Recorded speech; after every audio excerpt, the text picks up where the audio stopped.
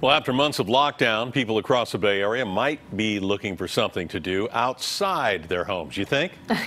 yes, myself included. San Francisco officials say museums can reopen next Monday. KPIX 5's Don Ford explains how they plan on keeping patrons safe.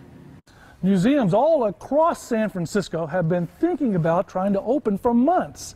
And now a surprise phone call from the mayor's office gives them that green light. Next Monday, along with some other businesses, the world famous San Francisco museums are allowed to reopen. Restrictions will apply. It's, it's, it's not rocket science, but it's, we, we, we're being very thoughtful. You know, it's, it's like, you know, the grocery stores, the hardware stores have stayed open.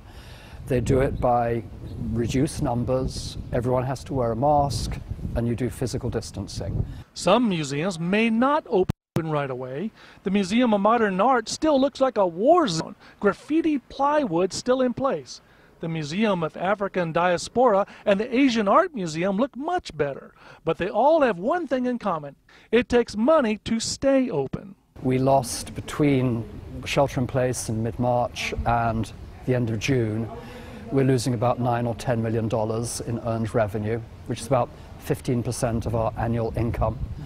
However, Director Campbell says the Museum of Fine Arts has a robust support base that keeps the museums from getting into too much trouble.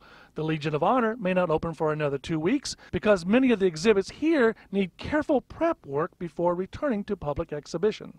You know, we all love being in these museums with these works of art and with, with the audience. So we just can't wait to open the doors again to the public. In San Francisco, Don Ford, KPIX 5.